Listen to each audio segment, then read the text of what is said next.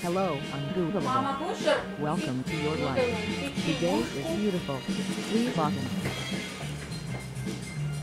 У маленькой Руи ремонтируем пристенный фонтанчик. Все его части также сделаны из декоративного бетона. Основание – это классическая колонна размеренная вдоль, а чашей послужит половина цветочного вазона. Чтобы в стыки не попадала влага, заделываем их герметиком.